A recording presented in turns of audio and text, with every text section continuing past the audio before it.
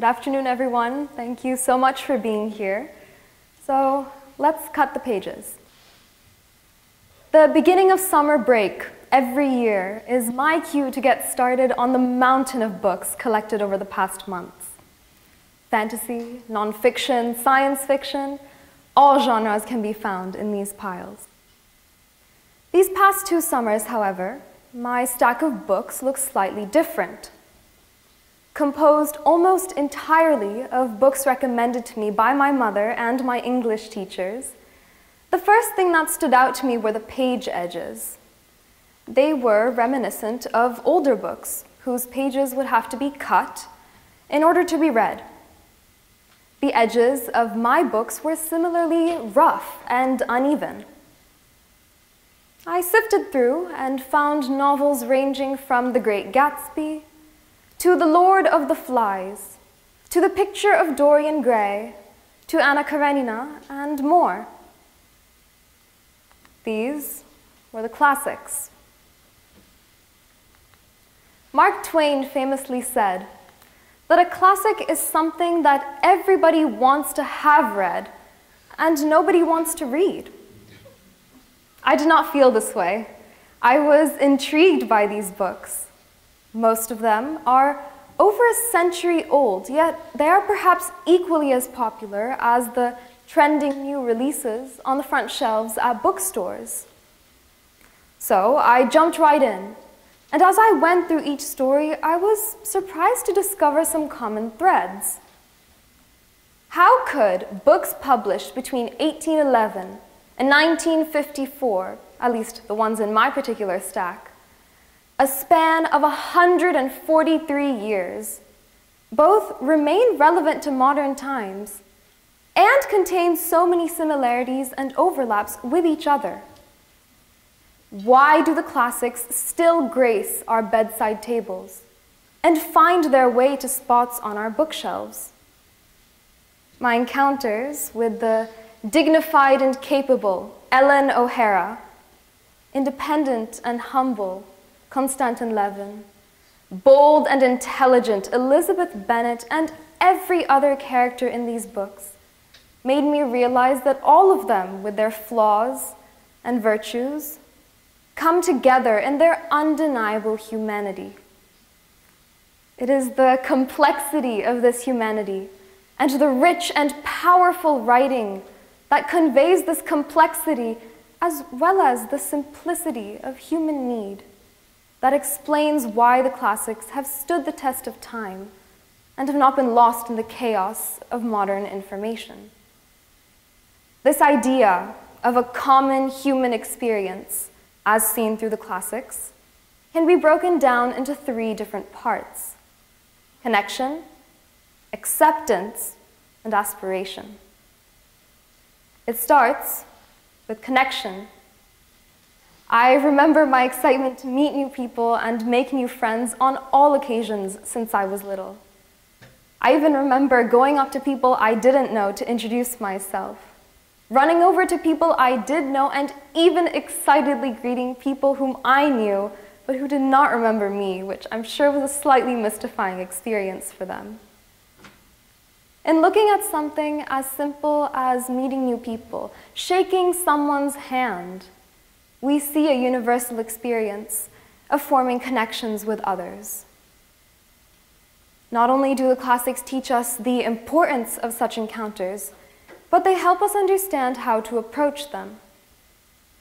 They show us the value of reserving prior judgments and remind us that, as F. Scott Fitzgerald wrote, Whenever we feel like criticizing someone, just remember that all the people in this world haven't had the advantages that we might have had.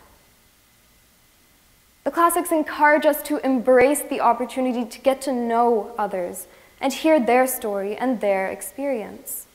And who knows, we might learn something new. However, the classics do not regale us with this advice. Rather, their dignity comes from only showing us the tip of the iceberg and letting us form our own ideas about the rest by forcing us to ponder and allowing us to connect with the characters and their stories. By welcoming us into the hearts and minds of the characters, we connect with them and we learn more about them through their stories and through their actions, whether of kindness, greed, or generosity. The emotions felt while reading the classics can be similar or equivalent to forming connections with others.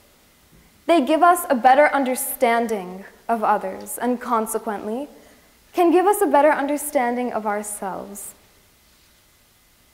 Connections with others, or these riotous excursions with privileged glimpses into the human heart, also teach us acceptance, not only of circumstances, but also of people and who they are, because people, unless given specific impulse, do not tend to change.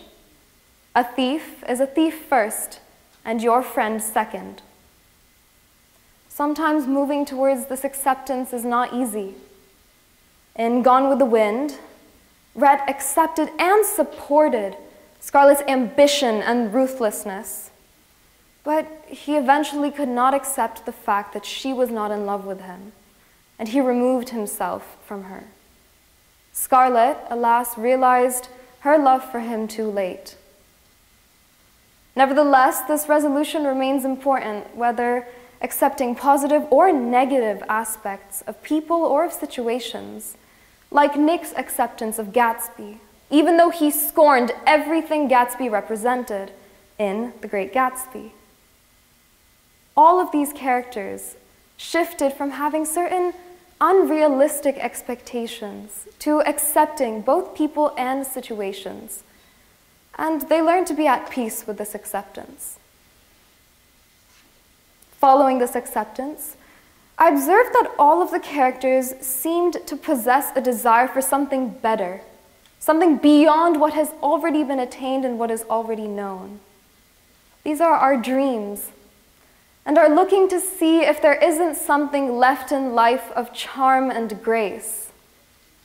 The characters in Anton Chekhov's short story, The Beauties, long for that missing piece that will give them satisfaction.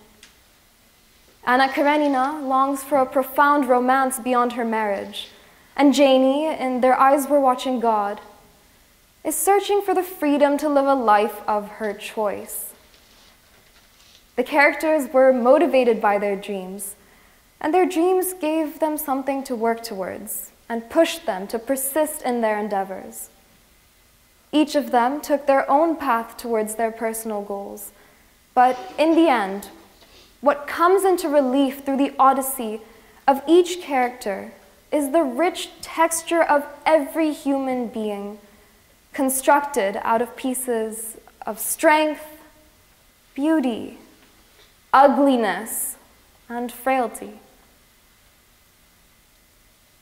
We are surrounded by examples of the perfect happy ending, one being old Disney movies, where every character never fails to find their perfect happily ever after.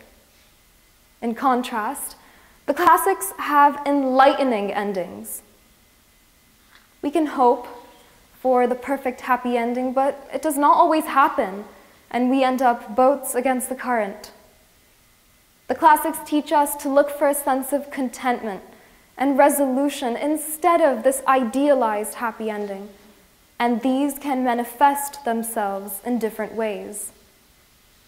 It might be a great joy of work, such as Konstantin Levin and Anna Karenina found. Thinking of nothing, wishing for nothing but to do our work as well as possible. Or it might be a sense of inner peace and not letting others destroy that, as Jane Austen said in Sense and Sensibility. For me, these are the most elegant discoveries of human character. One thing everyone has to do for themselves. They have to find out about living. But the classics can illuminate that path. As Oscar Wilde said in The Picture of Dorian Gray, the aim of life is self-development to realize one's nature perfectly. That is what each of us is here for.